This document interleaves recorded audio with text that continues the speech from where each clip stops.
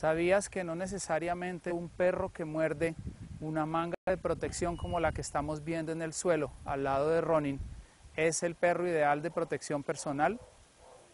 Hasta el año pasado teníamos un deporte que se denominaba HIPO. Este año se llama IGP y es un deporte que utiliza este tipo de artefactos, este tipo de elementos de protección. Y es eso, deporte.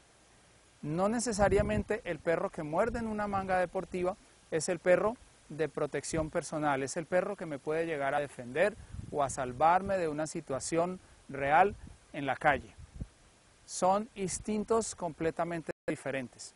En la mayoría de los casos, los perros entrenados deportivamente tienen una alta carga en el instinto predatorio, es decir, muerden por un instinto de caza, por un impulso natural de caza y de presa, agarrar y no soltar, pero no necesariamente están preparados para una situación de la vida real.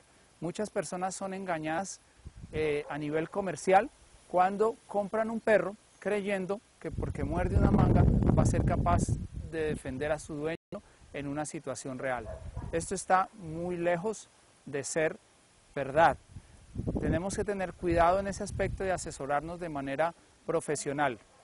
Puede ser que existan perros que instintivamente, a pesar de ser perros deportivos, puedan llegar a proteger mi vida, pero no todos. En su gran mayoría, estos perros eh, de tipo deportivo están preparados para la rutina deportiva y para morder en el equipo, para identificar una situación muy puntual en el campo de competencias o en el campo de pruebas. De hecho, Ronnie me está prestando muy poca atención en este momento porque su atención está puesta totalmente sobre la manga. Es mi perro personal y de todos modos, si yo le ordeno morder, para él es un juego y va a venir a morder en la manga. Eso.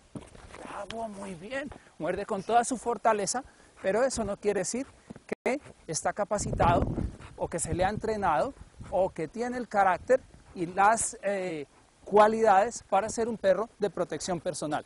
¡Alta! Muy bien, súper. O pie, no, o pie. Couché.